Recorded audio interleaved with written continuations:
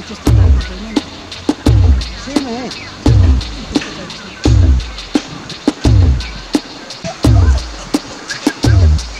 Ahora ahí, abrió.